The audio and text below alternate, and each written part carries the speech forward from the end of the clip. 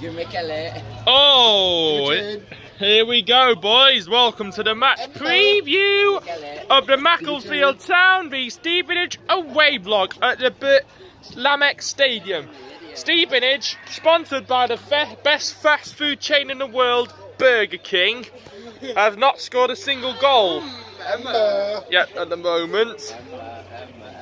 And Mac have scored six goals, three, ga- three conceded, coming off the back of a 1 0 win against Scunthorpe and an abandoned Carabao Cup tie against Grimsby. We win that tie against Grimsby, we get the best draw of the lot, Chelsea away. How buzzing are you for that? Very. Let's delve into the preview, shall we?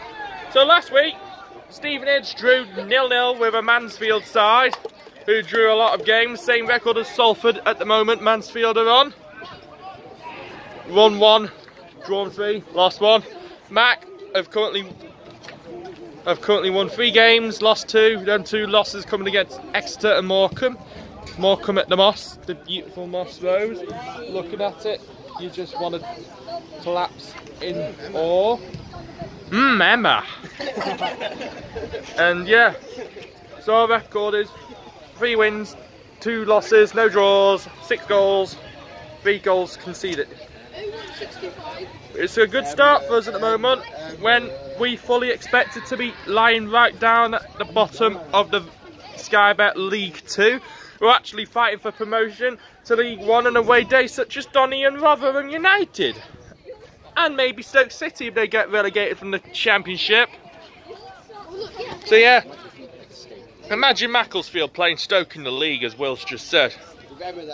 Yeah, and now it's time for the score predictions for Stevenage away. I'm going to go for a nil-nil draw. What's yours, Tom? 1 0 mark.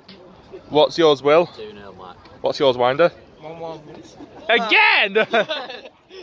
What's yours, Foxy? Smelling 2 1 mark. Really? And anyway, here ends this preview. Emma. Shabu. Shaboosh! Big champions as always. Staroosh! If you enjoyed the video, please leave a like and subscribe if you're new.